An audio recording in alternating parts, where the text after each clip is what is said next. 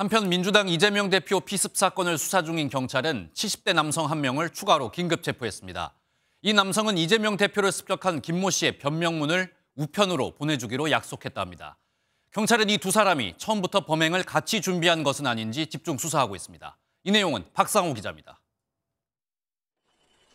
이재명 대표를 습격한 60대 김모 씨는 구속 전 피의자 신문에 출석하면서 처음 변명문이라는 말을 언급했습니다.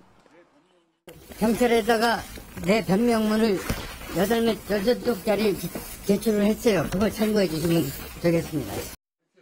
해당 문건에는 김 씨의 범행 동기와 신념 등이 담긴 것으로 전해졌습니다.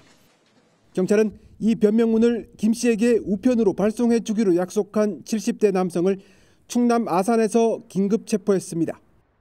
경찰은 이 남성이 김 씨의 범행 계획을 알고도 이를 막지 않고 오히려 범행을 도운 것으로 보고 살인 미수 방조 혐의로 수사하고 있습니다. 체포된 남성은 현재 범행을 부인하는 취지로 진술하는 것으로 전해졌습니다. 앞서 경찰은 범행 전날 김 씨를 승용차로 태워준 운전자 두 명도 참고인으로 불러 조사했습니다.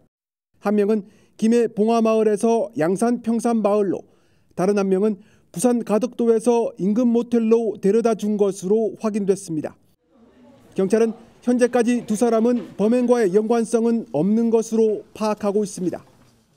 경찰은 프로파일러 분석과 김 씨의 휴대전화 포렌식 결과를 토대로 추가 조사를 진행한 뒤 조만간 최종 수사 결과를 발표할 예정입니다.